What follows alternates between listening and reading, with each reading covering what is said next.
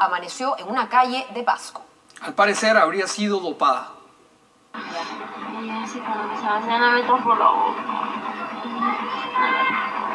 Ya no recuerdas cómo has aparecido acá, pero te recuerdas que has salido de allá. Como te digo, este es Cerro de Pasco. Así me trajeron de vamos acá.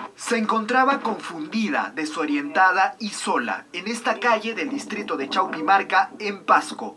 Esta menor no tenía idea de cómo llegó hasta este lugar tras asistir a una fiesta de 15 años la noche anterior en Huánuco. Apenas podía pronunciar algunas palabras.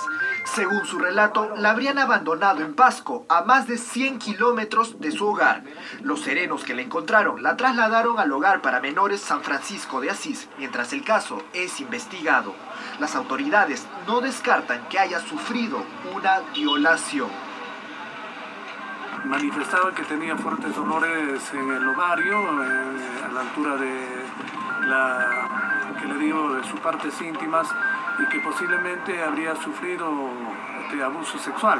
Podría ser de que detrás de esto esté una banda de tráfico o trata de personas. La Fiscalía de Familia ya tomó las declaraciones del adolescente bajo estrictas medidas de seguridad.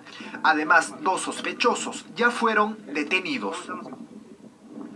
Y tenemos una noticia de último minuto. Se acaba de producir un sismo de 4,7 grados en la escala de Richter en